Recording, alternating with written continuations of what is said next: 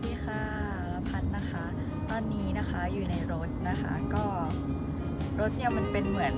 เป็นแอปพลิเคชันหนึ่งนะ ก็เหมือน Grab บ้านเราเนาะแต่ว่าเขาชื่อว่า Careem นะคะ ก็จะถูกกว่ารถแท็กซี่ทั่วไปเขาก็จะมีโปรโมชั่นส่งมาจริง ๆ เหมือน Grab บ้านเราเลย ก็จะมีแบบบางทีเราก็จะได้แท็กซี่นะบางทีเราก็จะได้รถบ้านนี่แหละ วันนี้กำลังจะไปวิลาเจโอมอลนะคะ และเดี๋ยวในวิลาเจโอมอลมันมีอะไรบ้าง เดี๋ยวเอามาแชร์กันนะว่ามันมีอะไรบ้าง ก็คือที่นี่ก็รถติดอะรถติดเหมือนเหมือนกรุงเทพนะคะ ที่โดฮาก็รถติดเหมือนกรุงเทพเลย เดี๋ยวจะถ่ายให้ดูว่ารถมันเยอะขนาดไหนนะคะ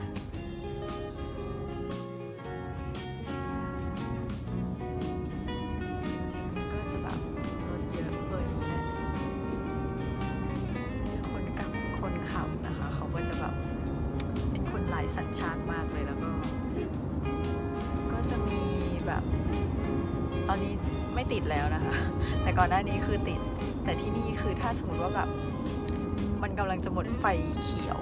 หรือว่าเหลืองขึ้นมา คือคนที่นี่เขาก็จะหยุดรถเลยนะคะ เขาจะไม่เขาจะไม่แบบเหมือนบ้านเราที่แบบพอเหลืองปุ๊บคือจะต้องเหยียบอะไรอย่างเงี้ยค่ะพราะที่นี่แบบกฎหมายแรงมากอะไรเงี้ยแล้วก็ปรับเยอะมาก คนก็จะเคารพกฎจราจรมากนะคะ ก็จากที่พักไปวิลาจิโอมอลก็จะประมาณ 10 นาที 15 นาทีแล้วแต่รถติดนะคะ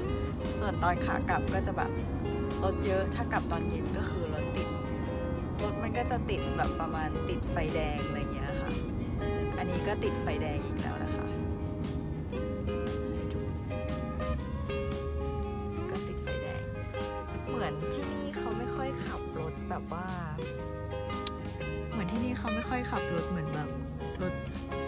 หรูหราเหมือนแบบเฟอร์รารี่อะไรเงี้ยไม่ค่อยเห็นนะคะ เห็นขับรถแบบทั่ว ๆ ไปคันใหญ่ๆมันอาจจะร้อนอะเออคิดว่ามันจะร้อนนะ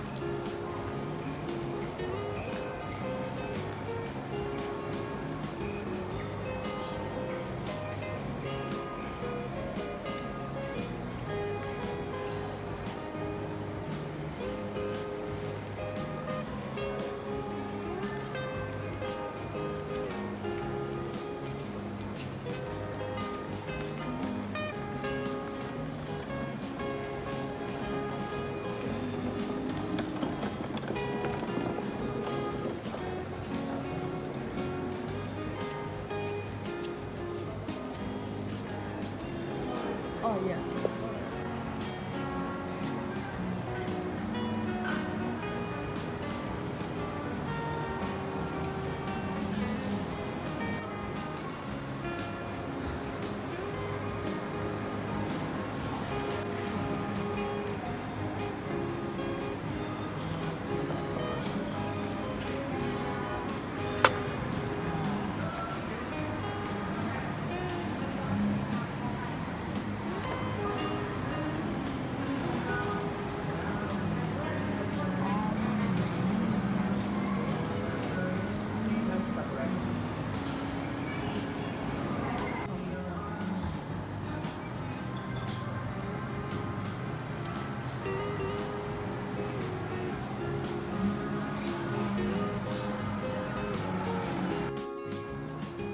อนนี้มานั่งในร้านร้านอะไรเนี่ยซูโม่ซูชิเบนโตะนะคะ อยู่ในวิลาจิโอมอก็จริง ๆ แอบแอบอัดวิดีโอตอนเดินเข้ามา แล้วก็กาดก็มาบอกว่าแบบเอออัดไม่ได้นะ อัดได้นิดเดียวเดี๋ยวไปเดี๋ยวคอยดูแล้วกัน ก็คือห้างก็ทั่วๆไปอะ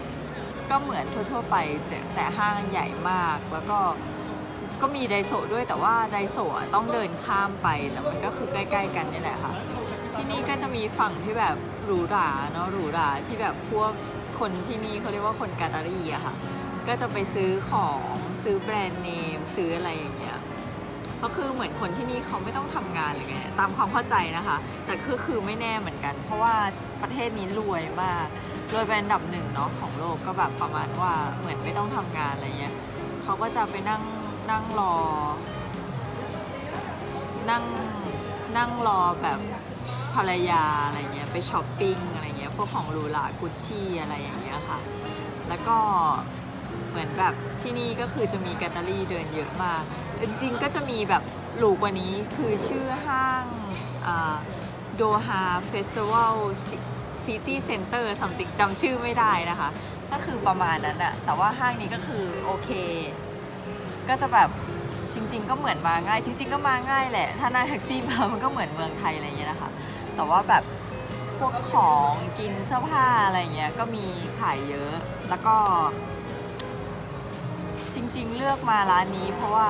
ชอบอาหารญี่ปุ่นนะอร่อย คือกินอย่างอื่นไม่ค่อยได้นะกินอย่างอื่นแล้วไม่ค่อยอร่อยอะไรเงี้ย แต่ว่าอันนี้ก็อร่อยดี จริง ๆ จะแอบให้ถ่ายข้างหลังข้างหลังมี Baskin Robbins ด้วยนะจริง ๆ จริง ๆ ก็เหมือนห้างทั่วๆไปนะคะ แต่ว่ามันก็จะมีแบบว่า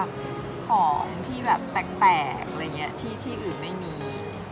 จะเห็นคนแบบคุมหน้าคุมตาใส่ชุดสีขาวทั้งตัว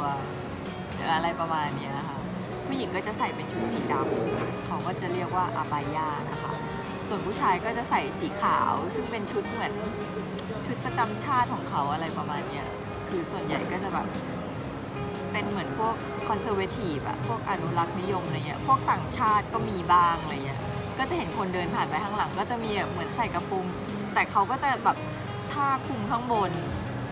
คุมข้างบนก็คือเขาก็อาจจะแบบข้างล่างก็อาจจะแบบใส่เป็นกระโปรงได้อะไรเงี้ยส่วนใหญ่ที่เห็นเป็นพวกอาหรับเด็กๆอะ่ะเด็ก ๆ ก็จะแต่งตัวแบบปกตินะคะพอโตหน่อยเขาก็จะต้องใส่คุมหมดปิดหมดอะไรเงี้ยตอนนี้คือรออาหารอยู่นะคะ 15 นาที จริง ๆ ชอบกินร้านนี้มากิน2ครั้งแล้วนะคะ แล้วก็เลยสมัครแบบว่าสมัครเมมเบอร์เขาอะเขาบอกว่าลด 15%นะคะ เดี๋ยวรอดูว่าอาหารเป็นยังไง เดี๋ยวเอาให้ดูนะ รอรอรอรออ่า ตอนนี้อาหารมาแล้วนะคะ ก็จะเป็นซูชิเบนโตะอะไรแบบนี้กับกับชาเขียวร้อนนะคะ ให้ดูซูชิเบนโตะกับชาเขียวร้อนนะคะ ก็ตอนนี้นะขอไปกินอาหารก่อนเพราะว่าหิวมากเลย เดี๋ยวเจอกันนะคะ